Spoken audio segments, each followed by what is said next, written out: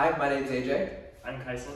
and this is our go-kart Hammerhead. In this video, we're gonna detail how we made it, the whole design process, buying parts and everything, so maybe you can get some ideas on how to make your own go-kart. So first, let's start off with why we wanted to make a go-kart. Kyson, take it away. It all started right before last summer when we brought up the idea as a joke, like, oh, wouldn't it be cool if we made a go-kart for this summer? And then a couple days go by and AJ's like, so I was thinking we can go to Home Depot to get some wood to mock up our frame. And I was like, okay. And that's where it all started, right there. so our goal for the go-kart was to keep it really simple, no suspension, no rolled cage, nothing crazy like that, and keep it under or at and around the thousand dollar price range. If we started going above thousand dollars by a lot, it would have been more worth it to us to get a off-road oriented go-kart with suspension or a shifter cart where, where you can shift through gears and fancier fabricated parts. So our wood frame was really important to us. It's really where this whole idea started, and we really hold it really close to our It hearts. has a lot of sentimental value. Oh yeah, most definitely. We we never want to see it go. So welcome to the burn it later pile. This is our original wood frame right here. This is where the axle cutouts were, and you know it's really in a better place now. I think. I think so too.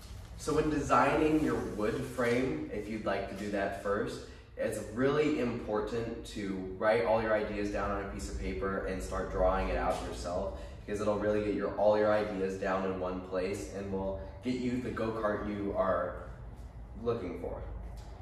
Yeah, and another important thing when designing your frame on paper is asking for other people's opinions if they have experience with building a go-kart or even something like a Banshee. Right. So when prototyping the go-kart, we had some values that we wanted to keep. Uh, one of those being we wanted to keep the overall length under or at six feet so we could fit it in both of our vehicles. Another thing is protection for our tires. We have a front bumper on our go-kart, so if we crash and we if nothing happens to our linkage for steering, and it'll bounce us off, and that's why they are angled Which, fun fact, that's actually where Hammerhead got its name, is the fact that it does have a very unique shape in the front, almost like a Hammerhead truck. Yep. So after we designed our wooden frame and made everything we wanted on there, it was now time to start buying parts. Now this part of the video comes with a huge disclaimer. If you do not do enough research on which parts you get all together, they have a very high chance of not working together. And that's what happened to us. We had to modify or even get rid of a lot of the parts that we spent a lot of money on, which made us spend more money and delayed our final product of this. So the first part that we bought for the go-kart, Kyson, you remember what it is? The engine. Good answer. So we chose the Predator six and a half horsepower, 212 cc. Now, the reason why we chose this one, it was local. We got it at Harbor Freight, obviously, because it is their line of motor. And uh, we chose this one because it was very popular in the karting community, especially for starting out. It's very simple, very reliable. Uh, depending on where you're at, where you're located, you might have other options like Briggs and Strattons and Honda clones and all these other ones. Uh, what else do they offer, Kyson? Harbor Freight also has different versions of this go-kart, which you might like more for your own go-kart if you decide to make one. We have the Hemi version, and they also have the more, the kind of traditional-ish one that has a little bit less torque, as far as I know. Um, then they also have a karting-specific one, which requires more fabrication on your own. So after buying our engine, we bought a rear axle and a seat from eBay, and we bought our steering kit from Amazon. After we got those parts, we put them on our wooden frame to see what our go-kart would start looking like, and that's when we came to realization we might have to modify some of these parts. So the rear axle came with all of our braking systems, our piston, our caliper, and the brake rotor. It also came with things to mount the wheels and a sprocket and chain, which we ended up not using because our clutch used a different chain. Um, then for our steering, Yeah, our steering kit, we it came with everything we really needed. Uh, we ended up modifying a few things, but it came with a steering wheel, came with a steering shaft, rack and pinion, some tie rods. It came with spindles, but that was one of the parts we didn't use. We ended up getting spindles from uh, BMI Karts and Parts. and used those instead. The spindles that came with it for like were for like a suspension go kart, and we didn't know that at the time.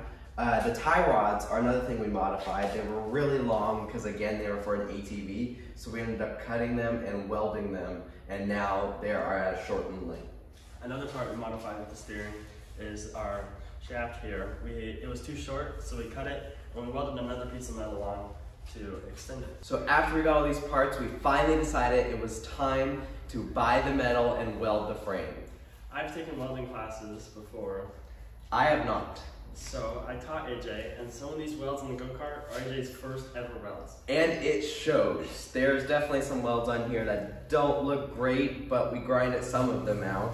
Uh, but it definitely is a fun experience, and I learned a lot from it, and I definitely am opening, open to do it again.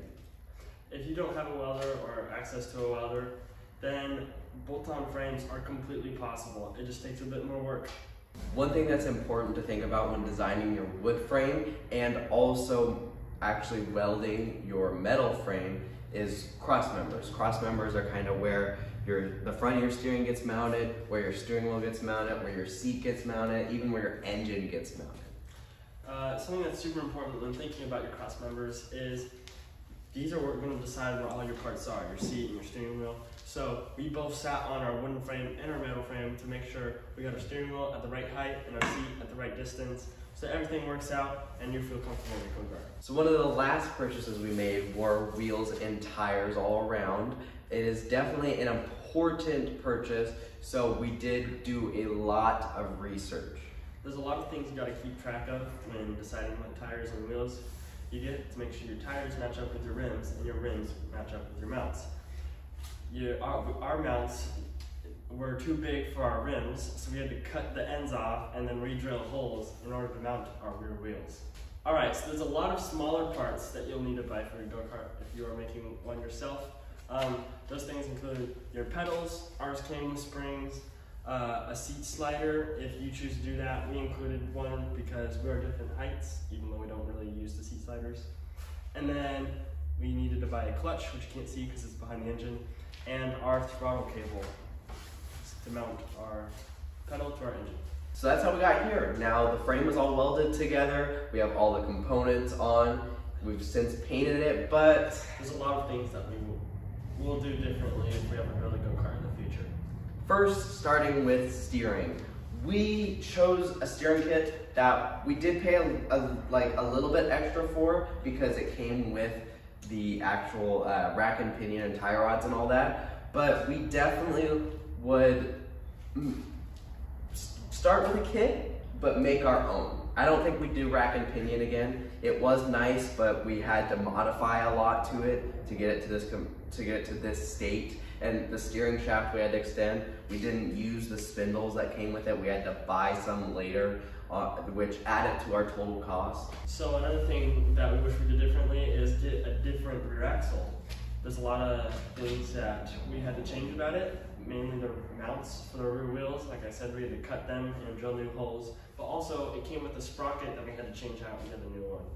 So we definitely look for a different rear axle that either has the parts we want or get cheaper parts that we want and piece them together ourselves. Another thing that we would change is actually the length of the go-kart. We put seat sliders on it, but we have we actually have the seat sliders all the way back to the furthest setting that it has, and we both use that. We thought that we would need the seat sliders to uh, to make it so both of us could drive it comfortably, but we both find it comfortable to drive at this setting. Uh, the only thing that's nice is that uh, you sometimes like sometimes let your brothers drive it and they can slide it forward so they can reach the pedals better. But if we were to do another go kart, I don't think it would be as long and we probably wouldn't have seat sliders. It wouldn't be worth it to add seat sliders. It just added to the cost. So one thing that's special about our go-kart and we would do differently if we were to make another one is we have one pedal, which is our gas pedal, and a brake lever. On our next go-kart, if we were to do one, it would be two pedals, one for gas, one for brake. The reason why we had to do it like this though is because our brake cable wasn't long enough to reach to where we wanted the pedal and we actually have a hole drilled out for where the pedal was originally going to be But also, we could have got a different brake cable, but the piston would have kind of interfered with our steering components up front. All in all, it was just easier to put the brake as a lever up by your side. It's just a little bit harder to drive because you can't keep two wheel hands on the steering wheel at all times. And that's it. This is Hammerhead. We love how it turned out. It took months to get to this point, but we hope that we gave you some inspiration to try making your own go-kart and it was a lot of fun. Oh yeah, if you do choose to make your own go-kart, let us know how it goes in the comment section below. And also, if you have any questions, please leave it down there too. If you guys enjoyed the video, like and subscribe. We'll definitely got some more videos on the way. Next up, we have a special upgrade that we teased in the video where we put this all back together and I'm really excited. We've already started getting parts for it and it's it's, it's really exciting. It's closer than you think. Oh yeah. All right, see you guys next video. Bye. Bye. All right, so this will now. I'll, Keep me better.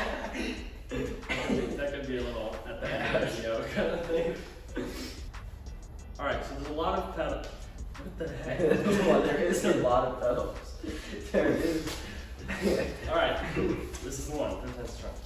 So that's how we got here. Now our go-kart is fully assembled. The frame is all welded together. We painted it since, but there's a lot of things that we would have done. Hmm.